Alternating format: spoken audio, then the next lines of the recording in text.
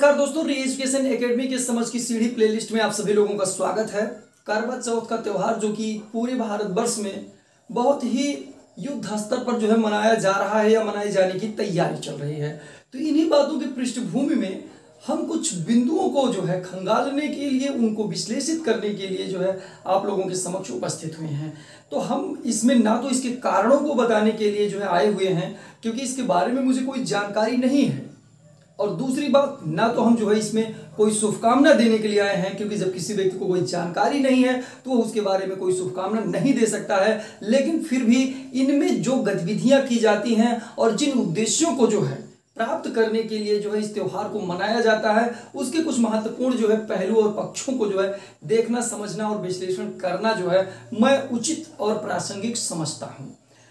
यह त्यौहार जो है महिलाओं के द्वारा और भारतवर्ष के कुछ क्षेत्रों में पुरुषों के द्वारा भी जो है मनाए जाने के प्रमाण प्राप्त हुए हैं और यह त्यौहार एक दूसरे के प्रति, एक दूसरे के प्रति जो है सम्मान और उम्र, एक दूसरे के प्रति सम्मान और उम्र अभिवृद्धि के अभीष्ट लक्ष्य को प्राप्त करने के लिए जो है मनाया जाता है। इसके अंतर्गत जो है व्रत रखते हैं। पूरे दिन भर कुछ खाते नहीं हैं। शाम को एक दूसरे का जो है, चलनी के द्वारा जो है चेहरा देखते हैं। अब इसमें तो मुझे लगता है कि पूरी तरीके से चेहरा भी स्पष्ट रूप से नहीं दिखाई पड़ता है तो किस तरीके से जो है चलनी के द्वारा देखे गए चेहरे के प्रति सम्मान व्यक्त करते हैं और उसको देखने से किस तरीके से उम्र वृद्धि होती है, यह चीज़ जो है सोचने, समझने और विश्लेषण करने का विषय है। इसमें तो मैं आप लोगों से यह भी अपेक्षा करूँगा कि जिन भी भाई और बहनों को जो है इसकी जानकारी है या इस दिव्य ज्ञान की जानकारी है, वो कृपया कमेंट करके भी बताएँ कि इसमें किस तरीके से जो है उम्र वृद्धि होती है या चलनी देखने से व्यक्ति के प्रति किस तरीके से जो है मान सम्मान और प्रेम में जो है वृद्धि होती है। ये सोचने का विषय है और इसी के पृष्ठभूमि में दो अन्य बिंदुओं को हम यहाँ पर जो है विश्लेषित करना चाहेंगे, जो कि सबसे इंपॉर्टेंट चीज़ है।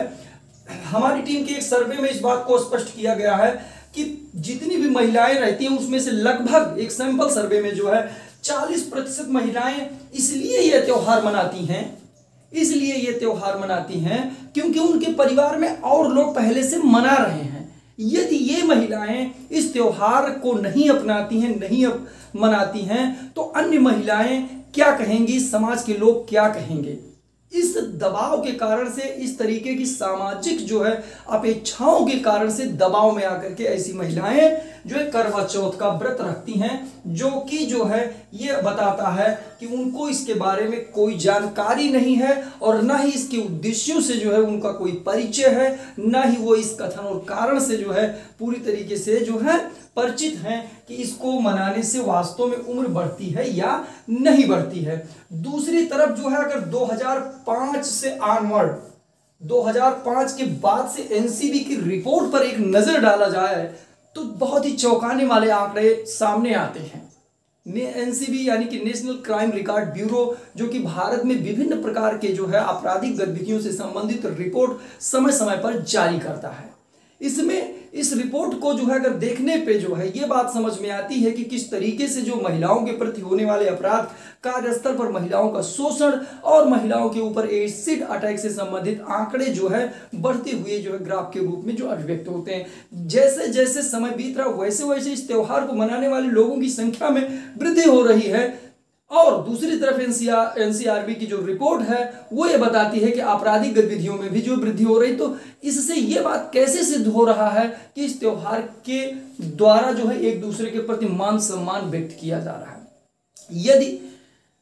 अपराध भी दूसरे तरफ़ बढ़ रहे हैं तो इसे किस तरीके से कहा जा सकता है कि लोग एक दूसरे का मान सम्मान कर रहे हैं? उनको, उनके स्वास्थ्य को लेकर के, उनकी शिक्षा को लेकर के जो है सजग हैं, उनके जीवन स्तर की वृद्धि के लिए जो प्रयास कर रहे हैं। इसमें पति पत्नी अगर एक दूसरे के प्रति सम्मान व्यक्त करना चाहते हैं तो उन्हें एक दूसरे की समस्याओं को जो है समझना चाहिए, उसमें एक दूसरे का सहयोग करना चाहिए। चाहे व्यक्ति अपने व्यक्तिगत जीवन में हो, चाहे वो अपने सार्वजनिक जीवन में हो, महिलाओं का सम्मान करना चाहिए, महिलाओं के स्वास्थ्य को लेकर के सजग रहना चाहिए, और बच्चियों की जो है शिक्षा पर विशेष रूप से ज़ोर देना चाहिए। कुछ इसी तरीके की विचारधारा मेरी भी है कि